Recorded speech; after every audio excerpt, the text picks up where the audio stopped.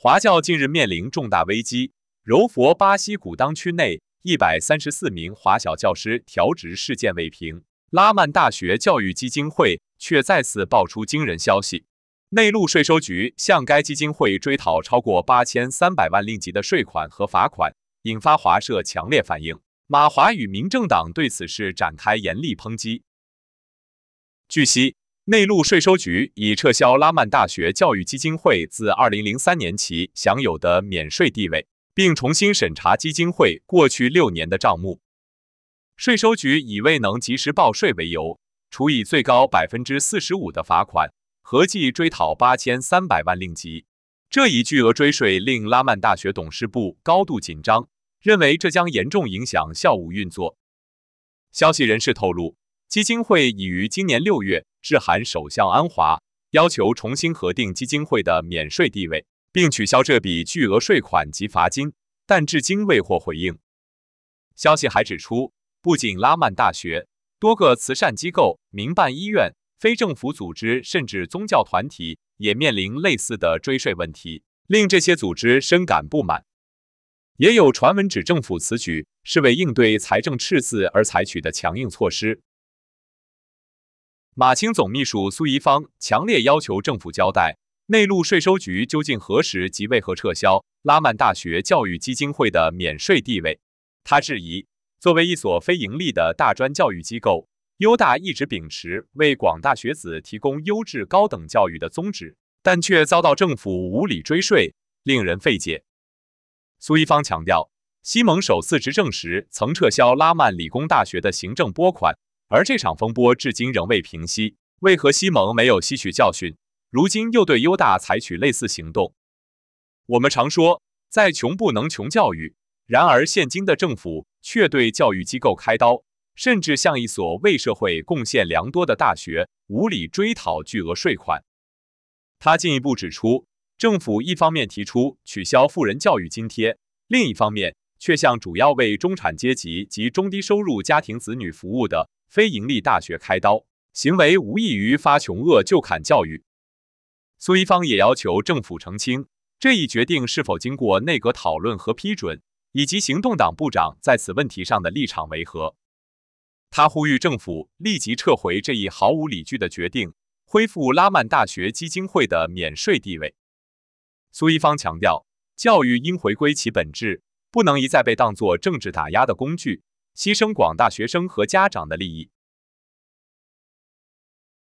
民政党全国主席拿督刘华才呼吁团结政府，无论面对多大的财政压力，也不应随意向民办大学和慈善组织征税。他批评。这种行为如同杀鸡取卵，不仅打击公众对政府的信任，也损害政府形象。刘华才指出，政府刚刚在今年三月通过交通部长陆兆福移交四千万令吉拨款与拉曼理工大学，随后却又向拉曼大学教育基金会追讨高达八千三百万令吉的税款和罚款，其操作让人费解。他提醒政府，向涉嫌逃税的企业或机构追税固然合理。但向民办大学和慈善组织征税却是不妥当的举措。他说，政府应采取正确的方法增加收入，而不是将矛头指向这些公益组织。刘华才特别提到，民政党也有宏愿大学，深知办学的艰辛，因此对于拉曼大学基金会突然被追税，他深感无奈和同情。他还质疑，除了拉曼大学基金会。还有多少慈善组织面临同样的命运？他警告，这种风气不可长，政府应立即停止向这些机构追税。他担心这次税务风波会再次出现同样的情况，政府可能会最终自圆其说，表面上顺从民意，实则背后隐藏其他议程，这让人不得不对团结政府的真正动机产生疑虑。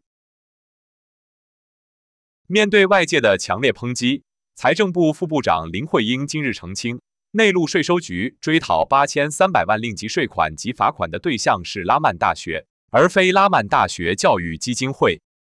林慧英通过文告指出，拉曼大学教育基金会自二零零三年七月一日起，已根据一九六七年所得税法令第四十四六条文享有免税地位，该地位从未被撤销。而拉曼大学与基金会为独立的两个机构，拉曼大学并未申请免税。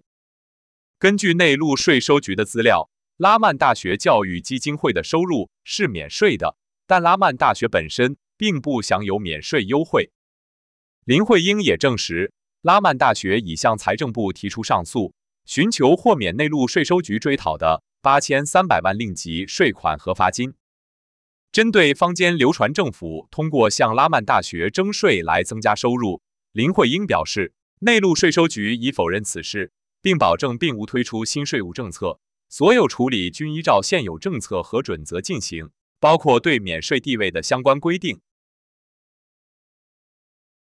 行动党柔佛州州委乌成豪严厉批评巴西古当区十一所华小一百三十四名资深教师被临时调动的决定，认为这一举措不符合教育局以学生教育素质为优先的原则，并要求立即冻结该决定并展开调查。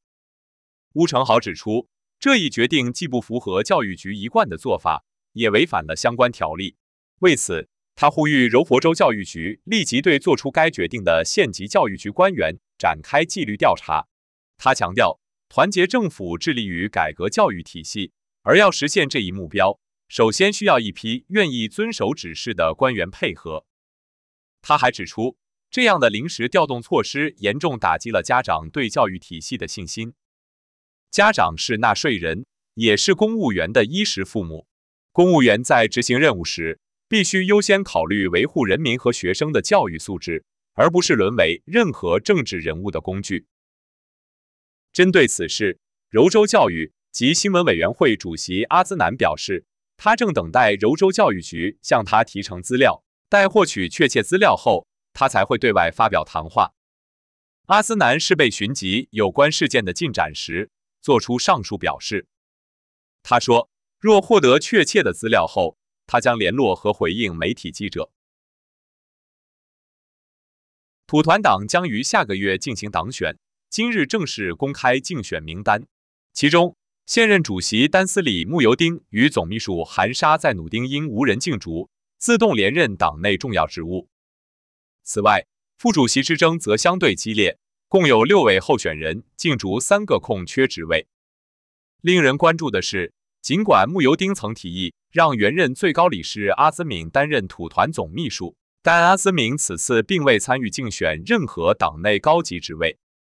土团党选举委员会副主席塞夫阿德利指出，虽然穆尤丁和韩沙在努丁已确定自动当选，但党选正式结果仍需等到区部大会结束后才能正式公布。